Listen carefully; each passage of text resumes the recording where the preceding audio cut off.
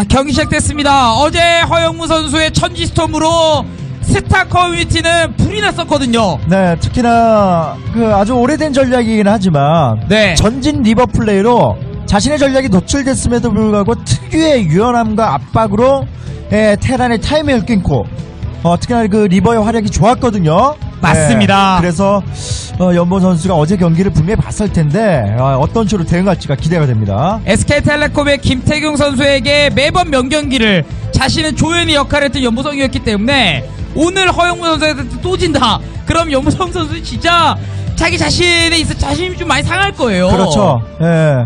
어찌됐든 그 어제 경기만으로도 어제 경기만으로 판단을 해봐도 베테랑전의 토스의 거지 가장 완벽한 모습을 보여줬거든요. 네. 예, 그런 허영무라서 자 연보 어떤 특유의 날카로움과 단단함이 어, 나올 수 있을지 기대가 됩니다. 맞습니다. 허영무 선수와 그 연본 선수의 매치업이 뜨자마자 뭐 많은 분들이 굉장히 기대를 또 많이 하고 있고 어, 뭐 누가 이기든 저희 해설진은 진짜 중립적인 입장에서 그리고 대박의 명경기가 나오기를 바라고 있을 뿐입니다, 여러분.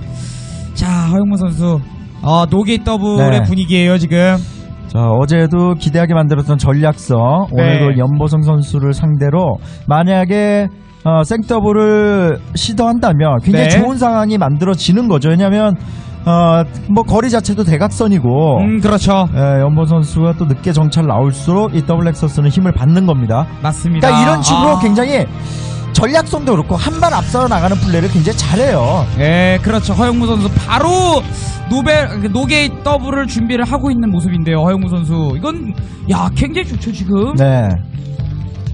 자 거기에 정찰도 안 보내고 자 있어요. 이제 가고 있는데 네. 뭐 바로 이제 대각선으로 가지 않는다라면 어 일단 그 출발에 있어서도 예, 허영무 선수가 좋습니다. 아 그렇죠. 얼마 전에 있었던 뭐 매치업은 기억이 안 나는데 정찰이 딱 두 번째 타임만 됐어도 막을 수 있었던 선수가 한 번 경기에 나왔었죠. 예, 정찰 첫 정찰을 못하 하냐 못하냐도 굉장히 중요한 것 같아요. 예, 이번 경기의 포인트. 자, 연문수 네. 7시로 갑니다. 자 만약에 이 부분에서 이제 그 전략이 나왔기 네. 때문에 센터블을 상대하는 연보 선수가 과연 어 본인이 자신 있어 하는 그래도 후반 운영을 가느냐 초반 빌드가 불리해도 후반으로 끌고 나가느냐 그 판단과 음, 또 하나는 네. 이 팩에서 한번 힘 실느냐 뭐, 그렇죠. 네, 한번 그 승부수 올인을 한번 펼쳐 보이느냐 요게 이제 관전 포인트가 될 것 같습니다. 맞습니다. 허영무 선수 어쨌든 노게 더블 성공하는 분위기인데 SCV 정찰은 또 한시로 가고 있어요 지금. 야. 야, 이거는 진짜 운이 따라주는 거예요. 네, 뭐 이런 것도 이제 이런 우- 어, 운도 어, 허영무 선수 좋아요 지금 이렇게 되면. 자, 염보성 뒤늦게 보면은 근데 조금, 이거는 네, 만약에 가장 늦게 보잖아요. 그럼 투팩이 안 됩니다. 안 되죠. 아예 작정하고 상대 위치 상관없이 투팩을 정하지 않는 이상 음, 그렇죠. 지금 현재 무슨 원팩 더블이거든요. 이러면 허영무의 생더블은 완벽한 성공을 한 상황이죠. 맞습니다. SCV 정찰이 너무 늦어요. 너무 늦고 허영무 선수의 초반 분위기는 너무 좋게 지금 운이 따라주는 뭐 아까 그렇습니다. 예, 운도 사실 실력이라는 말이 있는데 이거는 약간 운이 따라주는 거예요. 정말 정찰이 너무 안 되고 있어요. 네, 그 어떻게. 보면은 그 생더블이라는 전략 자체가 이런 걸 또 감안한 건데 네. 예, 지금 보시면 얼마나 어, 양 선수의 입장이 분명한가면 거기에다가 위치가 발견이 안 되니까 겁, 겁이 어, 그, 겁나서 음, 그렇죠. 내려가서 커맨드를 짓지도 못하고 오히려 아, 어, 수비에 용이하게끔 본진에 짓는 것도 손해입니다. 맞습니다. 예, 이거 들어서 내리는 시간도 있거든요. 이거 연본 선수. 네, 아마 이제 뒷목 잡을 거예요. 아, 연번 이렇게. 선수가 예. 아차.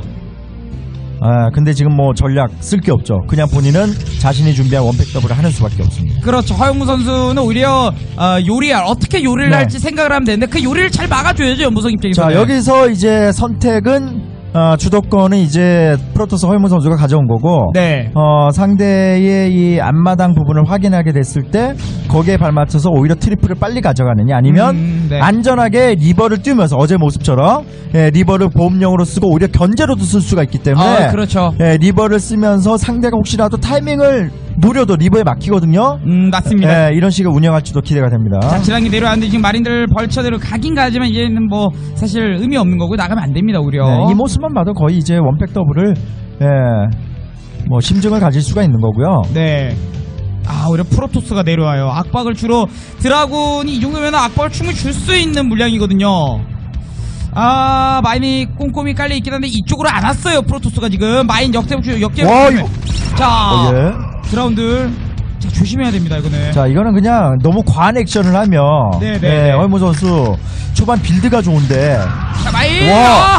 와, 탱크, 탱크, 자, 탱크! 자, 자, 탱크 잡혀 탱크 잡혀 역대박 마린 벌쳐 터지고요 아, 마인 또 되고 탱크가 탱크 탱크 탱크. 탱크 잡혀 아! 허영무 이야 아, 이러면 이득이에요. 왜냐?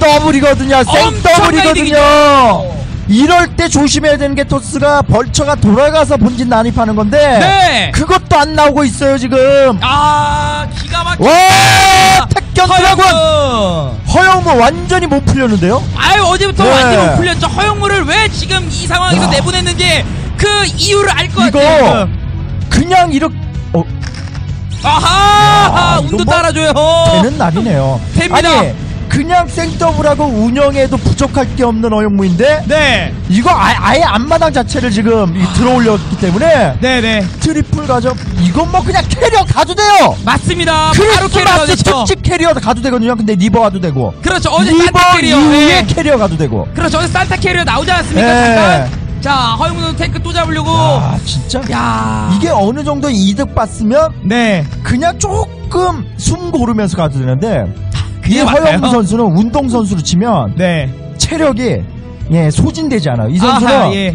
어제도 말씀드렸잖아요. 계속 움직인다고. 아 그렇죠 그렇죠 네, 굉장한 체력의 소유자입니다. 맞습니다 근데 뭐 운동선수도 체력이 소진되긴 하죠 네. 예. 참 그냥 강철이라는 거죠 아 그만큼. 맞습니다 예 자 뭐 허영무 선수 약간 만화 캐릭터 같은 진짜 강한 그런 어 만화 캐... 아 트리플 갑니다 네. 허영무 선 근데 이게 주, 이런 이게 어쩔 수 없는 선택인데 왜냐하면 음, 팩토리를 늘릴 수도 없고 늘려봐야 할 게 없어요. 할 게 없죠 근데 그렇다고 뭐 그냥 그냥 있으면 안 되니까 오히려 뒤를 바라보는 보험을 두는 건데 문제는 이렇게 되면 리버 캐리어에 딱 당하는 시나리오. 아 네. 리버 나왔고요 리버 캐리어의 완벽한 시나리오. 예 예, 나오는 거예요. 맞습니다 24일 크리스마스 이브 날 어, 나오는 캐리어는 뭐 김태희 선수 산타 캐리어라고 말하지 않습니까? 아니 뭐 소니 프로게 이렇게 캐리어가 네. 많이 나오나요? 아, 그래 저번 아이템 베이스를 그때 사실 캐리어가 별로 안 나왔었거든요. 그렇습니다. 네, 그래서 굉장히 아쉬워했었거든요, 김태희 선님이. 자, 자. 벌처가 뭐 넥서스 때리는 건 간지럽죠. 아, 그래도 프로브 잡는 네. 게 중요한 건데 이런 플레이는 좋긴 좋아요, 연보선 빈트 찾는 거. 자, 뭐 이런 거라도 지금 있어야 되거든요. 맞습니다. 자, 하지만 리버가 내려가고 있기 때문에 리버가 아. 그대로 갚아줄 수 있다라는 거. 지금 고비에요. 저 리버에 안 그래도 지금 피해가 누적이 많이 됐고 엔지니어링 베이가 지금 올라가는데 네. 실러 탄기 역대박. 와, 와 이거 뭐 뭐죠 이 컨트롤? 아, 신기술이에요. 와 컨트롤. 컨트롤 자, 한 번 태우고. 와 대박! 와, 허영무. 야 솔로들에게 시원함을 선사하는 야, 왜냐면 그렇죠. 지금 솔로들은 굉장히 좀 가슴이 답답하고 맞습니다. 허전하고 예. 뭔가 꽉 막혀 있고 그렇죠. 예, 날에- 크리스마스 네. 스트레스가 있거든요. 그렇죠. 그 솔로들에게 지금 선물을 허영무 선수가 선사하고 있습니다. 그렇죠. 근데 아! 와! 대박입니다. 대박이네요, 허영무. 근데 추운 날 시원함까지 그 선사하면 안 되죠. 너무 춥잖아요, 그럼. 솔로들은. 아 스트레스 해소용입니다. 예. 아 탱크 지켜야 돼요 아, 탱크. 체제. 체제. 와, 이거 진짜 자막 연보성 바꾸고 이거는 진짜 다른 사람에도 아, 아 연보성이 아니라 다른 지금 들어온 사람들은 연보성이 아닌 줄 알 것 같아요. 예, 어쨌든 뭐 그냥 연보 선수의 너무나도 정석적인 플레이에 어, 어떻게 보면 그런 것들이 많이 알려져 있다 보니까 허영무 네. 선수가 그런 걸 알고 build 자체의 준비가 너무 좋았다고 말이죠. 아. build 자체의 전략성도 좋은데 그걸로 단순히 build만 이기고 그냥 무난 흘러가는 게 아니라 네. 본인이 잘하는 특유의 압박과 이런 걸 너무 잘한다는 거죠. 그렇죠. 테란전에서는 현재로서 가장 완벽한 플레이를 허영무 선수가 보여주고 있습니다. 맞습니다. 허영무를 잡기 위해서는 프로토스 라인이 많은데